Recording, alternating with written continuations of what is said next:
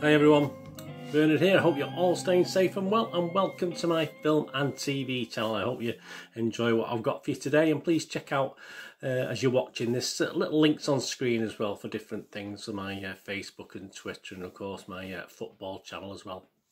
And uh, please, all your comments are very welcome. Just let us know and push that subscribe button. Don't forget, please push the subscribe button. Make sure your notification set to public as well if you want to know when uh, these vlogs are coming out. Push that notification button as well. So anyway, please, please enjoy. Right, today we're going to have a look at, uh, yeah, a little bit of a, an unusual one. I don't do many of these, but uh, a documentary. We're going to have a look at uh, a music documentary.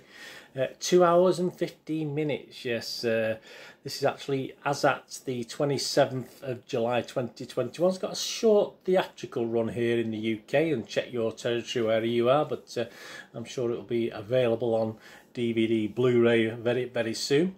And we're going to have a look at uh, The Sparks Brothers. Yes, The Sparks Brothers, a documentary film directed by Edgar Wright. The film, of course, is about Ron and Russell Mael, members of the pop and rock duo Sparks. Yeah, one of my, one of my ones that I liked in the 70s. There's a lot, a lot of groups I liked in the 70s when I was watching uh, Top of the Pops and involved in all the music side of things. Uh, well, not involved in it, you know, but I was interested more. Perhaps uh, I sort of at the moment I sort of dip in and out depending what mood I'm in. To be honest with you, this um, was released in North America on the 18th of June, so it's been available there for a bit longer than here in the UK. And all these scores and little reviews today are as at the 27th of July 2021, 6 pm UK time. Right, yeah, Rotten Tomatoes like it. I think most people like this. To be honest, there's nothing nothing wrong with this this documentary uh, music drama at all. Uh, the film has an approval rating of 95% positivity on Rotten Tomatoes. That's based on 129 reviews. An average rating of 8 out of 10, so you can't argue with that. 122 fresh and 7 rotten. Yeah, but there are 7 rotten. I'll just uh, quote one of the rottens. That was from Kathleen Sachs of the Chicago Reader. Uh, disappointing might be a better word for it. One might have hoped that when time came for Sparks to get their due, the treatment will be better reflect the band's singularity. Okay, but uh, here's one of the vast numbers of fresh that there were uh, far, far more, obviously. Ann Hornaday from the Washington Post even more than an extravagant dive into pop arcana, this film is valuable as a moving testament to perseverance, uncompromising principles, and incorruptible character. Of course, it is. Uh, there were consensus reads, a sort of little website, the, sort of a overall opinion.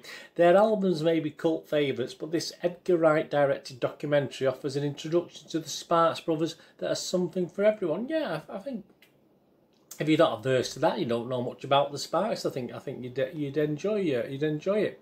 The Rotten Tomatoes audience, the verified audience, the audience that actually paid and uh, forked out for a ticket to go and watch this, set uh, 4.8 out of 5. Eh? That's not bad, is it? 9.6 out of 10. So not too not too shabby at all, as we say.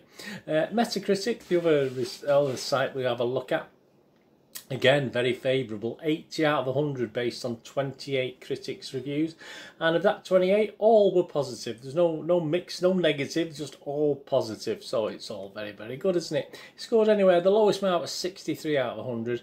And the highest was 100 out of 100. Again, I have no idea where we get hundreds out of hundreds from. But uh, the Hollywood Reporter's Frank Shecky gave it 7 out of uh, 70 out of 100 and said, while the Sparks brothers may be a bit too exhaustive for those merely seeking an introduction to the band, and long-time fans will be thrilled by the deluxe treatment. Total Films Jordan Farley, he gave it 80 out of 100. He said, crucially while, there's plenty, crucially, while there's plenty here that fans of the famously enigmatic pair may be learning for the first time, thanks to Wright's exhaustive access, it's a documentary that doubles as an accessible, breezy introduction to a band you may never have heard of, and a springboard to further explore their celebrated back catalogue. Internet Movie Database, Joe Public, you and me, 1198 scores and reviews as I'm doing this, 8 out of 10. That's not too bad, is it? 8 out of 10. And of that uh, 1198, 1138 of them scored this 6 or more, 95%. So that's that's not bad, is it? Right, my little thoughts on, on this uh, for a music documentary. I like Sparks, as I said, in the 70s, in the same way like most of the bands and music from that era.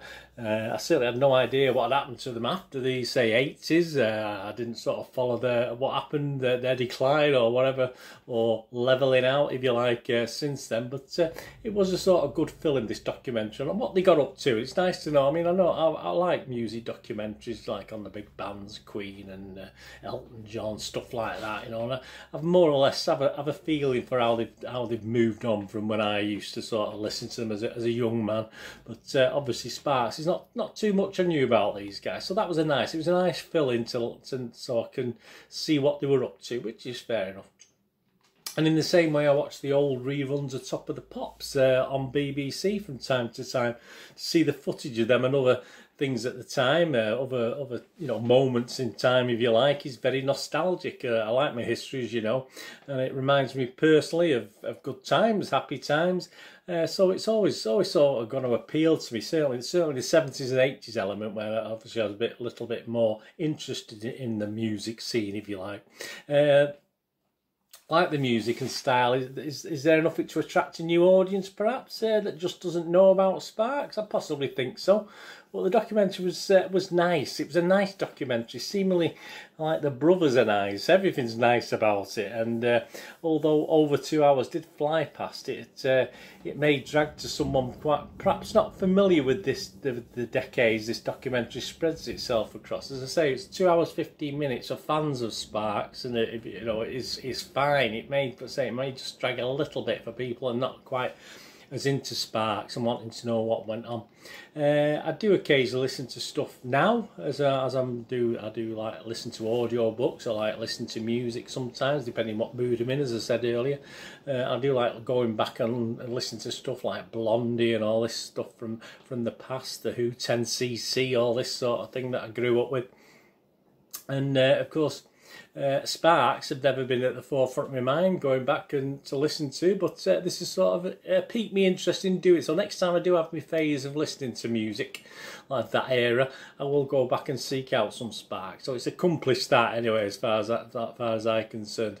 Because uh, I certainly didn't own any Sparks albums or singles, but as I say, I did have a, a watching brief and I did enjoy their stuff on on shows like Top of the Pops it was a nice trip down memory lane. The brothers seem, seem again, we'll get to the word nice, seem very nice. Uh, none of the stars, the, the, multitude of stars who were adding their thoughts and, and adding their thoughts to this documentary had anything bad to say about these guys, even, even ex-band members it was uh, that had been kicked out. Didn't really have anything bad to say about these guys. As I said, it's all very, very nice. Perhaps, perhaps the odd darker side to, to them might have, might have helped something to to this documentary. But hey, you can only do what you can do. Perhaps there is. Uh, perhaps he didn't. Perhaps he didn't interview some guys who don't like him and haven't got bad things to say. I don't know. I, I say a documentary is a documentary. You can, only, you can only judge what's put in front of you. And to me, it was all very nicey nice, which is fair enough because they, they, do seem nice guys. But uh, yeah, surely no one's that nice. Uh, I don't know. Perhaps I'm, perhaps I'm a bit nasty. Not not so what's the word? Uh, not naive. The opposite to naive. Perhaps, perhaps I'm a bit like that. Perhaps perhaps I always think there's always some bad somewhere in everybody, no matter how how good they're portrayed. You know. Well, there you go. Um, it brought me definitely for fans of. Sorry, we're getting a thunderstorm. Uh, it brought. It's definitely for fans of, of Sparks and. Uh, fans and people like me who just sort of liked them. I think it was enjoyable. As I said, it, it was quite long, but it did, it did fly past. And as I, I did enjoy watching the visuals as well of the stuff of that time. So my little score, I'm not going to go mad as the other guys. As I said, I, I thought it did its job. I'm just going to give it a, a very watchable rating, which is a very watchable rating for me, is 6.5 out of 10, which is a very good score for me. very, you know, I'm, people are usually, I'm usually happy to give a 6 to something, you know, that I've watched it. But uh, I just think some of the scores the critics and public have left are a little bit over the top for a for what is yes a well put together uh, music documentary, but it's certainly it's certainly not mind blowing. It's certainly not worth ten out of tens. I wouldn't have thought. It's just just just just nice. I think that's the word we keep coming back to, don't we? But uh, I did I did enjoy it, and let me know anyway if you enjoyed it. As I say, if you if you uh, dyed in the Wool Sparks fan, perhaps you would give it eight, nine, ten out of ten. I'm not too sure, but uh, if you like me, that just sort of like them in passing Uh, perhaps 6.5 to 7 is okay, but I'll stick with 6.5 out of 10. Anyway, let me know what you think. Thanks for watching. What are we going to do the rest of the day? Have a great one. Look after yourselves, look after your friends, look after your families. More importantly, let's all look after each other. So we meet here again on the Film and TV channel. I'll perhaps have a flick across, have a look at my Citizen channel, my football channel, on my my football team, Manchester City. Whatever it is, I only ask, I only ask one small thing from you. Please stay safe, everyone. Thanks for watching. Bye for now.